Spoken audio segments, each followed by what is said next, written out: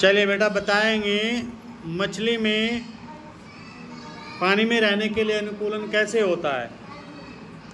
अच्छा दो बच्चों के हाथ ऊपर हैं। चल तुम बताओ बेटा। सर मछली का मुँह हाँ। हम्म। पंख हम्म। पूछ।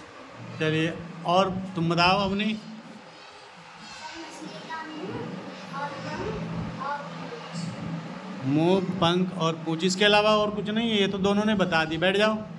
सिट डाउन आप आप नया क्या बता रहे हो?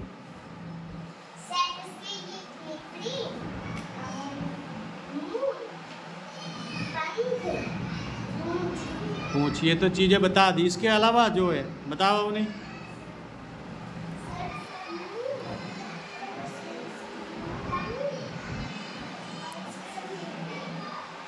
चलिए बैठ जाइए। बहुत अच्छे। क्लैपिंग करो इन बच्चों के लिए। देखो, एक चीज़ हम और बताते हैं धारा रेखित शरीर। धारा रेखित शरीर होता है इसका। और धारा रेखित शरीर कैसा होता है कि आगे से मुँह बहुत पतला होता है, जो पानी को चीर सके। और पूंछ भी इसी तरह से पतली होती है, जिसमें पानी को आराम से, पानी के बहाव में जा सके। और दूसरा होता है, बीच में से मोटा शरीर, है ना? भाई, मुँह जो है वो पतला होगा, पूंछ पतली होगी और बीच में से शरीर मोटा होगा। तो इसे हम बोलते हैं धारा रेखित शरीर।